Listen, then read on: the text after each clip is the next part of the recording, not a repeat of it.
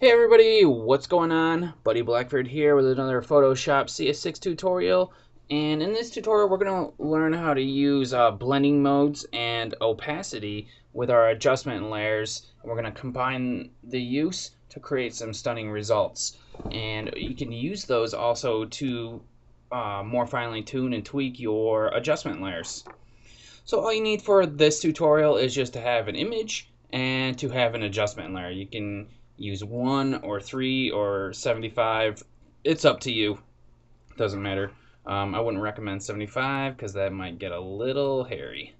Um, anyways, let's uh, get on with it. So you can use blending modes with um, your adjustment layer. And the blending modes are here under this uh, drop down menu. Um, it'll start out saying normal and or you can uh, click on it and add some of these blending modes. Now, if you don't know what the blending modes do, I suggest you watch my uh, tutorial series, which is a it's a four-part tutorial series because there's so many blending modes about the blending modes, and I explain all of it. And uh, it's right here. Um, tutorial 56 is uh, part one, and I go through every single blending mode and tell you what they do and show you what they do on top of a picture.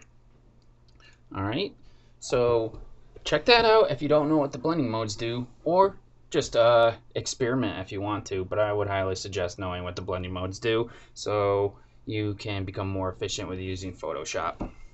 So um, some of the uh, best blending modes to use with adjustment layers, and uh, keep in mind that these blending modes don't work with every single kind of adjustment layer, but they do help, is um, multiply, screen, hard mix, difference, and exclusion are uh, some of the like the most dramatic results. So let's go ahead and change this to one of those.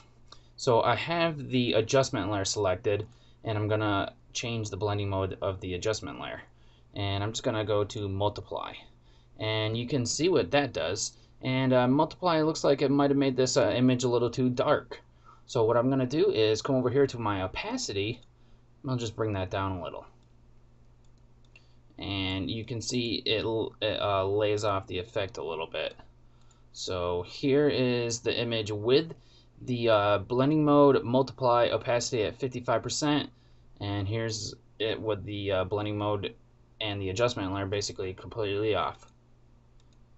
So uh, that's all I had to do for that. Pretty cool. Now you can do this with your other uh, layers too. So let me turn on this layer here and then I'll add something like um, let's check out what let's I like these darkening ones. Let's check out uh, darken and see what that does. And you can see it just like eh, I guess it made it a little warmer uh, because that's what my uh, photo filter here is doing. So if I double click on the icon I have a warming filter and it's orange. And uh, that just made this a little darker. So let's try something else. Overlay made it really dark and a contrasty it looks like. So let's back off it a little bit and see if we if we can get anything that we like. I mean maybe that uh, blending mode doesn't work very well with this image. Now if I go to something like uh, exclusion or difference here it's probably gonna look weird because it's not used correctly but this is what uh, happens. She gets some nice blue teeth and uh, I mean obviously exclusion does not work well with this uh, filled with the uh, adjustment layer that I have picked. So anyways, that's how you use the blending modes and opacity with your layers to create some nice results. Now, um, I would use this kind of stuff if I don't really want to go into here and start tweaking everything and all that stuff again. If I want to just have a quick reference here, um, I don't have to go into any new menus. I can just change my blending mode or my opacity and uh, be done with it there. So it's quick and fast. So, and that's what I'm all about, getting stuff done quickly and fast and um, making sure that you do it, do it right. So um, if you get employed by someone and you're quick and you're fast and you get your stuff done correctly, you're going to be ahead of the pack. You're going to be ahead of the people that only know how to do it like slow ways. So, and I always found that really helpful, and it helps you stand out at your job.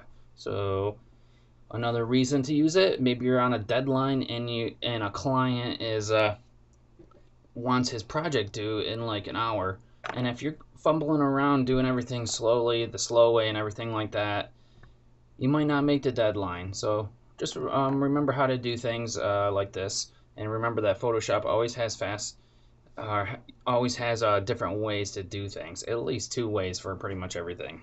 So I'd like to thank you guys for uh, watching this uh, tutorial.